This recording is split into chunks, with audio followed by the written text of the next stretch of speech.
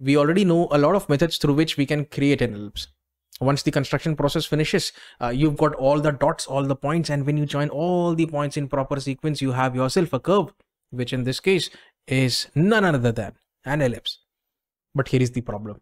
Some students complain that uh, uh, when connecting the dots uh, my hands are shaking slightly. Some students complain that when connecting the dots as my table is uneven so i'm not able to draw a smooth curve. So these are the complaints that I will be addressing in today's session. And the best method that I'll recommend for you is the four center method. But remember, this is an approximate method and not an exact method. Okay. If in the question, no method is mentioned for constructing an ellipse, you can go for it.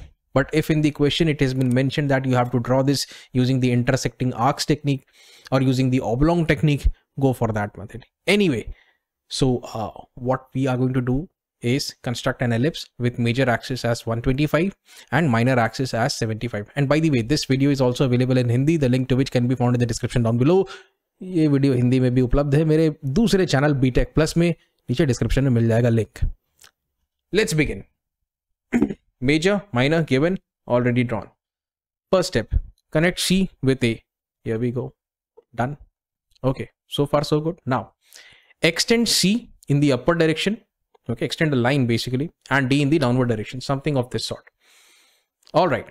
Now with o as center and with with ob as radius rotate in the anti-clockwise sense you'll reach here. Done sir.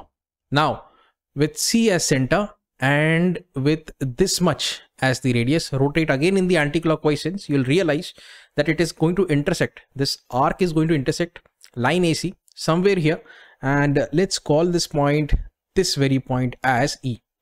Now what you need to do is you need to find the perpendicular bisector of AE. Okay, and this is going to give us two very important centers.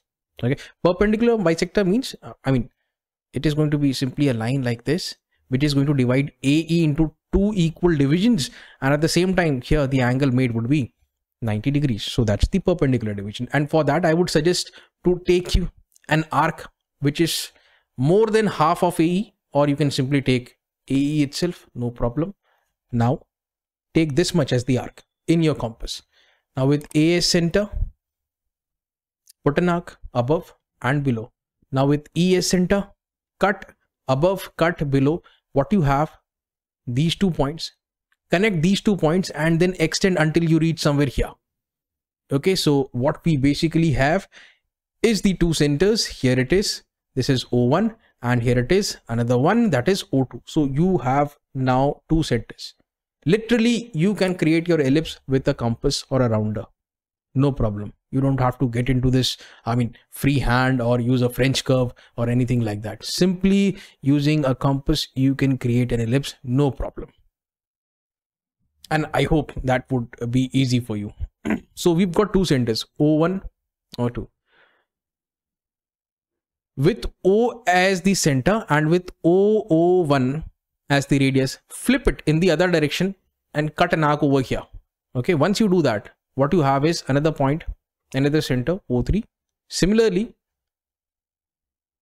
with O, O3, no, with O, O2 as the radius with O as the center, with O as the center, flip it this way.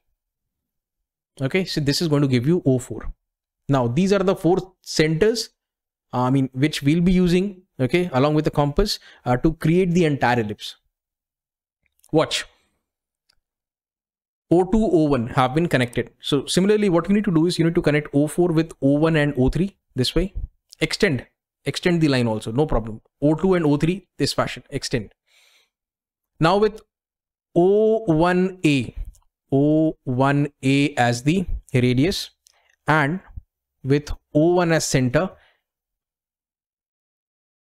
make an arc this way and this way. Okay, done sir. Now listen to this very carefully. Now with O2, C, O2C as the radius, O2C as the radius. That means this is where you need to put the steel leg of your compass and the pencil leg of your compass. Once you do that, and with O2 as the center, what you need to do is take it to the left side and to the right side. Done. Okay. Thirdly this is o3 by the way this is the arc that you need to take rotate up and down. Done. Now as far as o4 is concerned uh, where is this d? With this much. This is steel leg and this happens to be the pencil leg rotate this way and this way. This is how you can construct uh, the ellipse using the four center technique right? I think this is going to be very easy for you and uh, i'm sure with this all of you can create a good enough ellipse. So guys that was all from my side for today. If you find this helpful do like and share the video with your friends and classmates so that they can also benefit. And if you really want to learn engineering drawing in depth. Enroll in my course as soon as possible. Link is in the description. Thank you very much. Good day